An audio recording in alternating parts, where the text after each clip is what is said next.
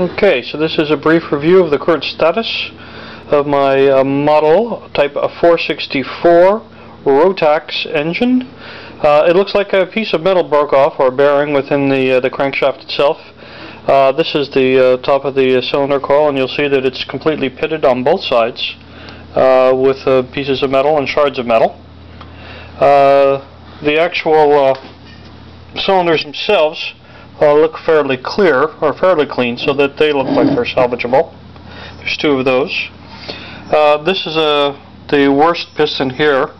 Uh, you can see that it's actually been scored and the rings have been uh, uh, fused right to the side of the piston. So the pistons need replacing.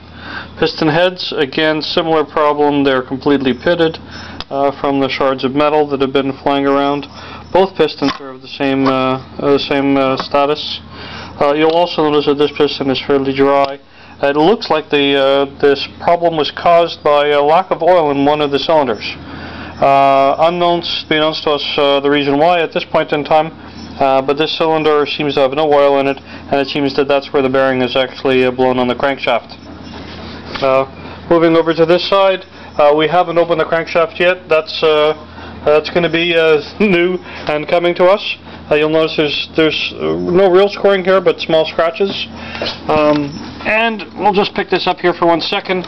You'll see that this is where the pieces of metal got uh, uh, uh and scored the inside as well.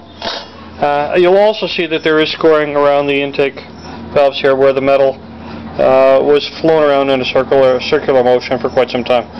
So it looks like there's been a lot of damage done to this engine. I don't know whether it's salvageable. Obviously, we have to open the crankcase. Uh, it'll tell the uh, you know the uh, the story. Um, two new pistons for sure, plus uh, heads. The entire uh, surface of the head casing will have to be uh, cleaned and smooth to get rid of all those shards. God only knows. Someone will tell us whether this is salvageable or go for broke. Buy a new one.